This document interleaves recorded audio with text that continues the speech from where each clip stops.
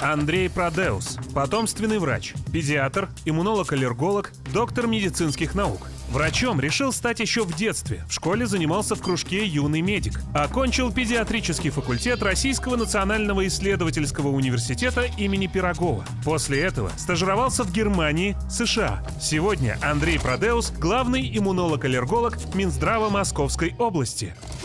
Ну что ж, Алла, такой насущный народный вопрос. Мне да. он прям нравится. Здравствуйте. По будням я оставляю своего ребенка с бабушкой. И как только ребенок заболевает, бабушка дает ему лук, мед, режет мелко чеснок, раскладывает его по всей квартире, по всем комнатам, соответственно, это запах. И у меня такой вопрос. А правда ли, что лук, мед и чеснок помогают от ОРВИ? И какие есть еще народные методы в борьбе с этим заболеванием? Ну, скажу так. Э, Мед вообще давайте в сторону положим, потому что к заболеваниям и инфекциям мед вообще никакого отношения не имеет. Это, по сути дела, фруктоза, сахароз, сахар. Ну, как бы с какими-то дополнительными ингредиентами, которые ну, никакого отношения к противовирусной или противобактериальной защите нашего организма, ну, по сути, не имеет. Ну, ну, я, в общем, не сторонник меда. Если кому-то вкусно время от времени, пожалуйста, ешьте его, но просто как сладкий продукт. Да, если мы возьмем патоку, если мы возьмем какие-то ингредиенты, там есть биологически активные какие-то вещи, но они не относятся прямую к ОРЗ, к, там, и к бактериям. Немножко другая ситуация, если мы возьмем чеснок, лук, если мы возьмем э, имбирь, например, тот же самый, э, основные биофлавоноиды, они так называемые, вот эти активные компоненты, я их э, так называю, это иммунитет растений, но только выраженный наружу. По сути, эти вещества во многом могут быть бактериостатиками. Против вирусов они имеют, ну, такую относительную эффективность, но многие из них действительно помогают растениям не заболевать их инфекциями. Это одна из вещей. Другая вещь, когда у, у растений есть такие активные ингредиенты, их и животные не будут особо есть. Это тоже защита их от э, воздействия окружающей среды. И в этом отношении совершенно справедливо, что и лук, и чеснок, и тот же имбирь, обладая этими биофлавоноидами, например, помогают обеззараживать ротовую полость. Эти данные такие есть. Говорит ли это о том, что это профилактика? Ну, нет. Будет ли это профилактики хватать, что если будет в комнате вонять чесноком и луком, там будет меньше плавать вирусов э, и бактерий? Вряд ли. Потому что если вдруг э, папа или ваша подруга, придя в дом с соплями, обнимет вас и вашего ребенка, ни лук, ни чеснок, ни трехкратная молитва не помогут. А водка? Это интересный способ э, лечения ну, детей. Нет, растирать я, когда. Я категорический противник этого. Объясню сейчас почему. А, особенно чем младший ребенок, тем а, я более негативно к этому отношусь. Есть такое понятие перкутантная абсорбция. То есть кожа – это тоже тот орган, который может всасывать. И при том самый большой по площади орган. И при этом э, молекула этилового спирта C2H5OH, она маленькая, она как раз хорошо проходит. И чем младший ребенок, тем способность проникать через кожу выше. Доза C2H5OH, которую вы ему дали через кожу, может быть сравнима с хорошим шотом. А вот тут вот возникает еще одна проблема. К сожалению, парацетамол и аспирин, если вдруг они дадены человеку, который пил алкоголь, а ребенок в данном случае пил алкоголь, по сути дела, вызывает тяжелейшие последствия разрушения, например, синдромы поражения печени. Потому что просто его печень маленького ребенка не справляются с двумя вещами. Температура плюс переработка лекарственного препарата, который в норме не опасен, но при наличии алкоголя, который блокирует те ферменты, которые должны обеззараживать это, это лекарство. И это состояние, у меня было таких два пациента, их спасти не удается. И смерть наступает не от ОРЗ. Алкоголь и дети, спиртовые настойки, растирание категорически против. Потому что если есть вдруг шанс вот таких осложнений, ни один врач не сможет просто так помочь. Я считаю, что в этом отношении уж давайте либо полечим правильно, либо давайте то же самое, ну сделайте водяные компрессы, ну вода есть. Ну зачем по-другому? Либо вызывайте скорую, вы живете все-таки в большом городе. Ну, все нормально. А вот эти дедовские, бабушские методы, риски. Риски вы должны оценивать. Но риски и с прививками есть. Я же не отрицаю о том, что ни одно лекарство не безобидно. Иначе бы оно не было лекарством. Когда лекарство не имеет ни одного потенциально побочного эффекта, у меня возникает вопрос, а что там внутри?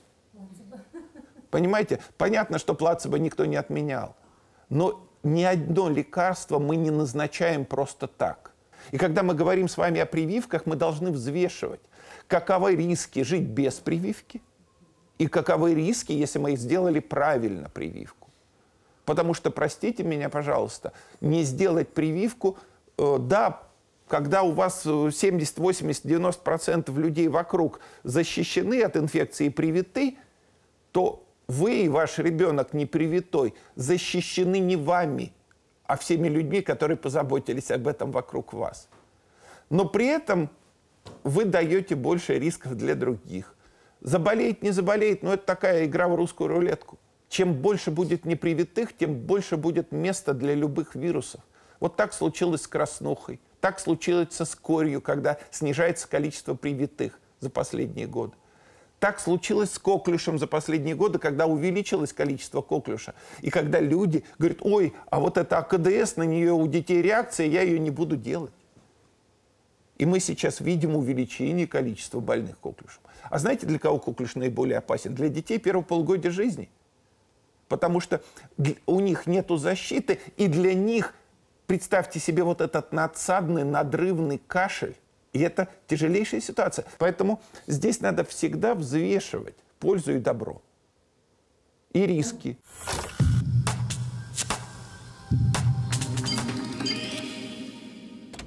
Ну что ж, сейчас вопрос от Натальи. Здравствуйте. А, если у ребенка множественная аллергия, как правильно выстроить питание? А, потому что если исключить все запрещенные продукты, то получается нехватка питательных веществ будет у ребенка. И нужно ли аллергию обязательно лечить или к ней можно просто привыкнуть? А, можно ли ее перерасти? И что в аллергии самое опасное? Ну, действительно, вопросов много, и действительно вопросы бывают, особенно когда есть или пищевая непереносимость одновременно с аллергией и одновременно с перекрестной аллергией, потому что вот что чаще всего дает вот эту вот, ну, панель, скажем так, что то нельзя, это нельзя и так далее. Да? Э, вот тут вот очень важно правильно подойти к рациону. Не бывает такого, чтобы была у человека, ну уж прям так, настолько множественная аллергия э, истинная на все подряд. Это бывает крайне редко, такие пациенты есть. Мы их специально выстраиваем для них рацион, диету и э, продумываем то лечение, которое необходимо для того, чтобы э, оптимальный рацион составить. Я отношусь к той школе врачей, педиатров, иммунологов, аллергологов, которые не любят назначать, знаете, так сказать, сажать ребенка на, что называется, на корочку хлеба и воду, запрещать все, а здесь надо действительно очень продумывать, что ему нельзя и почему. Первое, что мы делаем, исключаем или адаптируем ситуацию, если есть пищевая непереносимость, я могу сделать что-то, чтобы его хорошо переносили. Вот. Чаще всего это ферментопатии, то есть нарушение переваривания. Я могу сделать так, чтобы пациент спокойно переваривал этот продукт, и никакой реакции не было. Следующее. Я попробую полечить или, по крайней мере, подойти к оценке, что является так называемым мажоритарным аллергеном, то есть основным. Кто является вот этим самым главным. Да? И от этого построить ситуацию, что может быть перекрестной аллергией. На, и построить рацион из этого. Следующий момент позитивный, потому что когда мы говорим о детях маленьких, второго, третьего, четвертого года жизни, то да, действительно, при созревании иммунной системы и при правильном подходе и лечении многие виды вот этих пищевых аллергических реакций сходят на нет. Я могу вам даже так сказать, что такая тяжелая аллергия, как аллергия к белкам коровьего молока, примерно у двух третей, а то и трех четвертей детей она к возрасту 5-6 лет тоже сходит на нет. Клетки научаются быть толерантными к этому аллергену, если мы не запускаем эту болезнь. Вот поэтому как бы прогноз неплохой. Если все-таки поливалентная аллергия встречается у ребенка более старшего возраста, уже школьника, ну, тогда мы действительно должны э, подойти серьезно к его лечению – понять, какие препараты он должен получать, чтобы клинически это не проявлялось. Потому что все-таки тяжелые проявления аллергии, особенно пищевой, бывают. Это анафилактические реакции, это э, активация бронхиальной астмы, заложенности носа и так далее. То есть есть серьезные проблемы. Поэтому при поливалентной аллергии такой ребенок находится на учете у врача-специалиста и не лечится у обычного врача-педиатра, а действительно требует специальной помощи. Спасибо. Мне кажется, вопрос, который сейчас задаст Сергей, будет волновать очень многих и взрослых, и детей. Мы последние года три живем в регулярном стрессе. И вот вопрос все-таки про стресс и иммунитет, мне кажется, очень важным. Э, здравствуйте, а, Андрей Петрович. Мы воспитываем одаренного ребенка. Он учится в гимназии, выигрывает различные, э, на, в соревнованиях участвует. И вот чем больше он участвует в соревнованиях, тем он больше болеет. Вот. И мы хотели бы задать такой вопрос. А действительно ли стресс влияет на детский иммунитет? Или, может быть, все эти болезни психосоматика? Ну, психосоматику пока никто не отменял. Она, в общем, у нас в жизни присутствует. А вы, я так понимаю, отец четырех детей, да? У вас есть много детей. А, у меня тоже, в общем, их э, хватает достаточно. Я бы хотел не то, что вас поправить, но настроить на то, что э, мы воспитываем одаренного, а что остальные ваши дети не одаренные. Это уже дает определенный психологический, эмоциональную подоплеку не только вопросу, а и отношению. С точки зрения требований к нему же и его планки того, которую вы ему же задаете, и себе задаете. Вот ваша первая звездочка, которую вы поставите с точки зрения вот этой психосоматики. Он ваш. Любой ваш ребенок для вас любимый и самый одаренный. Я это просто как совет. И вот теперь давайте вопрос про стрессы. Скажите, пожалуйста, кто будет стрессовать больше? Тому человеку, которому задали серьезную планку, или того, которого верят и поддерживают и просто любят? Я считаю, тот, который будет первый. И теперь ответ на вопрос, а действительно ли стресс влияет не только на детский, а на наш взрослый, так сказать, организм и иммунитет? Да, конечно. Что такое реакция стресса? Это выделение стрессовых факторов. Для чего они нужны? Для того, чтобы мы в моменте смогли сконцентрироваться, чтобы был приток кислорода и питательных веществ к, к трем конкретным органам, к мышцам, чтобы бежать или бить чтобы к сердцу работало интенсивно, чтобы мозг обеспечивал нашу работу, то есть приток кислорода и питательных веществ. Что бывает, когда их много? Это факторы чаще всего кортизол, это гормоны надпочечников. Когда их много, и когда ты их не реализуешь, они же занимаются чем? подавлением иммунитета. Почему это важно? Потому что в моменте вот этого воспаления и стресса тебе важно снять воспаление, и они еще притупляют боль. И вот если вы в этом случае даете регулярную стрессовую нагрузку вашему ребенку, его иммунная система не очень позитивно в этом отношении э, себя чувствует. Плюс длинный стресс, это я сейчас сказал вам про короткий. А теперь длинные вопросы стресса. Ты начинаешь загоняться, думать, у тебя аппетит меняется, кто-то стресс заедает, кто-то наоборот не ест. У кого-то сон пропадает, и он не спит вовремя, нарушение режима дня, как отразится на ребенке, как вы думаете? Тоже он будет более уязвим. Поэтому вопрос ставить планку и поддерживать. Да, требовать мы хотим, но ставить ему лейбл «ты у меня одаренный, поэтому ты должен» для себя, мы его будем любить любого. И то, что он нас радует, будучи вы, выигрывая все, мы только будем рады. Но это не значит, что он более одарен, чем его братья и сестры. Я просто хочу снять с него лишнюю напряжение и нагрузку. А вот такой еще вопрос. Может ли стресс привести к аллергии? И можно ли аллергию вылечить полностью? Ну, аллергию, я бы сказал так, на отдельные ингредиенты мы можем вылечить и развить толерантность. Есть такой метод аллергоспецифической иммунотерапии. Она длительная, она долгая, но многим пациентам действительно помогает вылечить аллергию.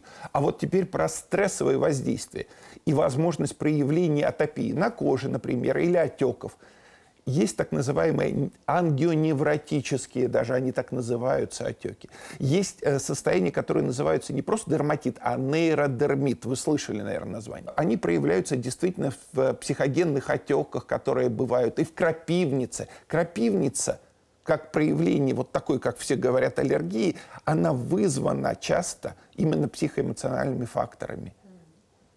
Поэтому иногда люди ищут аллергены пищевые, пыльцевые, бытовые, а крапивница часто триггером является именно э, эмоция, хоть позитивная, хоть негативная.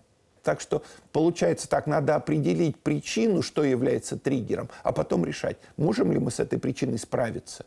Потому что если есть истинная аллергия, можно попробовать полечить аллергоспецифической терапией. Если это проявление, э, скажем так, неврологического характера еще плюс. Например, астма. Обострение астмы бывает на стресс. Ребенок пошел на контрольную или его поругали родители, он стал кашлять. Это бывает. Так вот это вот как раз психогенный триггер. Ну что ж, мы остаемся в теме аллергии, да, Алина? А, да, здравствуйте, а, Андрей Петрович. А, если в мире все больше аллергиков, то и лекарств должно быть больше. Скажите, пожалуйста, какие лекарства от аллергии разрабатываются сейчас и на что они направлены? Ну, действительно, вы знаете, аллергиков становится больше. Я уже сказал, что это причина, в общем-то, не столько экологии, а действительно э, мы имеем больше детей, которые рождаются преждевременно. Мы имеем больше детей, которые рождаются путем кесарево сечения. Сейчас я должен, с сожалением, отметить, что в большинстве стран мира больше 30% детей рождаются путем кесарево сечения. И, к сожалению, особенно в больших городах, количество мам, мам которые находятся, у которых дети находятся на грудном вскармливании, как вы понимаете, тоже меньше, потому что женщины, которые родили кесаревым, далеко не всегда э, могут, а некоторые даже иногда и не хотят заниматься кормлением грудью. Для меня это немножко странно, но я все-таки мужчина, я не могу их на, настаивать, потому что я считаю так, что если бы мужчины рожали, то рождаемость была вообще ниже плинтуса. Потому что мужчины вообще не стали бы это делать вот, или только под общим наркозом лет на 7, пока оно не выросло. Я бы сказал так, что сейчас есть подходы, которые называются аллерговакцины. В средней полосе России аллергия на березу, полинос – одна из самых частых. И вот аллерговакцина, которая дает возможность переключить, приучить наши клетки к тому, чтобы не реагировать, по сути, вакцинировать, это вот одна, одна из путей. А, есть э, подходы, которые дают возможность э, э, сделать так, чтобы иммунитет переключился с этого аллергического ответа на защитный, то есть переключить тумблер иммунных клеток с гиперответа на более правильный. Это тоже такие молекулярные подходы сейчас существуют. Сейчас стараются подойти к вопросу, как сделать так, чтобы клетка либо переключилась, либо не реагировала в том Э, в том виде. Потому что мы сейчас за последние буквально 5-10 лет стали понимать больше молекулярные и генетические основы вот этого процесса. Мы сейчас научились уже влиять на это. Например, для детей уже до 12, с 12 лет и старше стали доступны лекарства, которые переключают работу клетки, так называемые ингибиторы джак-киназ. Раньше мы даже себе представить не могли, что мы тяжелый или среднетяжелый дерматит, который можно лечить только гормонами перорально или там мазями, большими дозами гормональных мазей, мы сейчас можем лечить просто дома в таблетированной форме. То есть это действительно уже прогресс, прогресс, который стал очевиден. Сейчас используется и стало уже домашнее использование так называемых антител против ИГЕ, то есть моноклональные антител, которые блокируют антитела, вот эти специфические ИГЕ. То есть это тоже то, что мы уже стали использовать в активной практике. И самое главное, тоже люди до конца этого не понимают, в Российской Федерации вот эти вещи во многом доступны для пациентов бесплатно. Это возможно сделать, это можно не за деньги свои собственные, а, за, а государство это оплачивает для этих пациентов. То есть это не шутки, это правда, это все возможно, это все нужно делать. И это не зависит от того, где ты живешь. Это возможно сделать везде. Появится ли вообще когда-нибудь универсальная таблетка от аллергии? Я вообще против универсальных таблеток. Я категорически считаю, что вот такой абсолютной одной таблетки и панацеи не бывает, потому что наше здоровье состоит из разных кирпичиков. Это из того, что мы с вами делаем, это того, что у нас есть тоже наша генетика, это того, каким образом мы живем и как мы лечимся. То есть, как бы сказать, это составной такой пазл. И в какой-то момент времени какой-то из части этого пазла может э, давать сбой, а может нет, и может помогать нам. Поэтому ну, ожидать, что я могу жить как хочу и делать все, что хочу, а вы мне приду к вам и получите одну волшебную таблетку, по-моему, в общем-то, это как раз э, перекладывание ответственности на дядю доктора. Мне кажется, вот это вот не стоит делать точно. Это ваша ответственность. Понимаете? То есть в этом отношении это наша совместная задача. Это только в совместном процессе мы сможем заниматься лечением как вас, так и ребенка. Никоим образом это не только ответственность доктора. Я могу только посоветовать, а выполнять будете вы. Вот так. Хорошо, спасибо большое.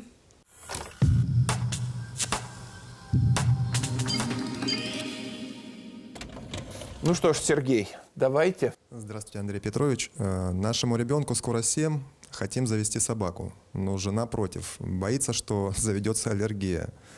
Скажите, есть ли способ заранее узнать, будет ли у ребенка аллергия? Ну и хотелось бы послушать ваше мнение, больше плюсов либо минусов, если животное есть у ребенка.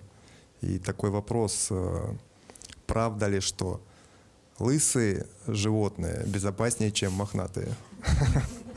Спасибо.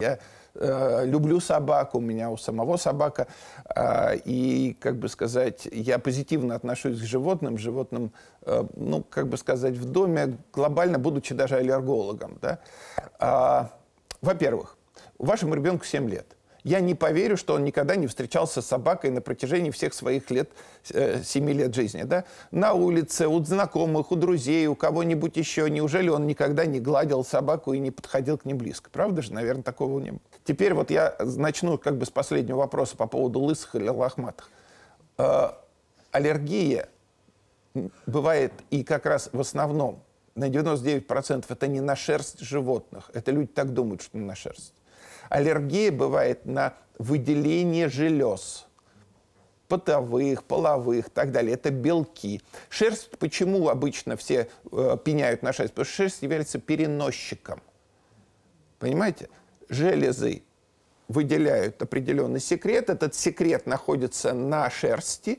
И, соответственно, получается, что чем больше шерсти или больше контакта, это примерно как история. Тополь зацвел, да, и все считают, ой, аллергия, у меня аллергия на тополиный пух. Нет, тополиный пух является сам переносчиком очень многих других аллергенов и раздражителем. Вопрос, может ли лысая собака быть менее аллергичной? Нет.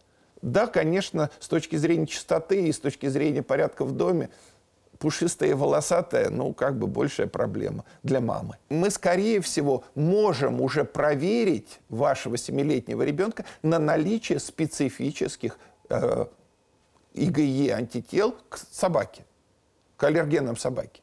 И, скорее всего, раз, в общем-то, у него такого не было, то мы, наверное, дадим позитивный ответ, что у него нет аллергии на собаки.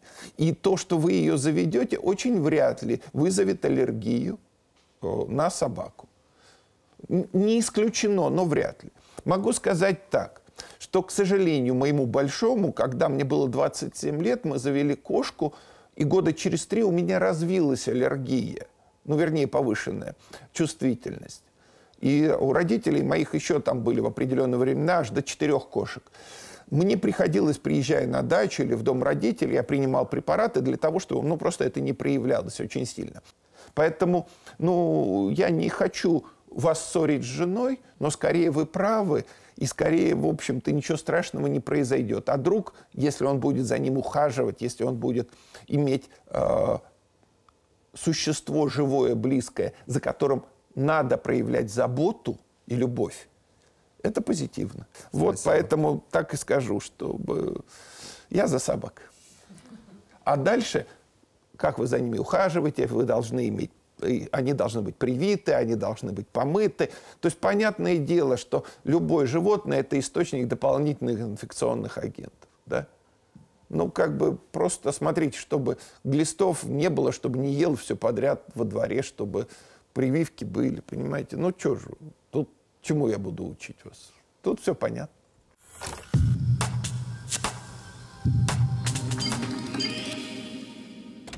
Ну что ж, дорогие друзья, я очень благодарен вам за вопросы. Надеюсь, мы сегодня часть, на часть этих вопросов ответили. И это поможет и вам, и нашим с вами зрителям. А я хочу сказать, что, в общем-то, сохранение здоровья вашего и ваших детей – это наша совместная работа. Выбирайте себе своего любимого доктора, советуйтесь с ним, но ответственность за свое здоровье не перекладывайте на него, а разделяйте вместе с ним. Так что здоровья вам и до новых встреч.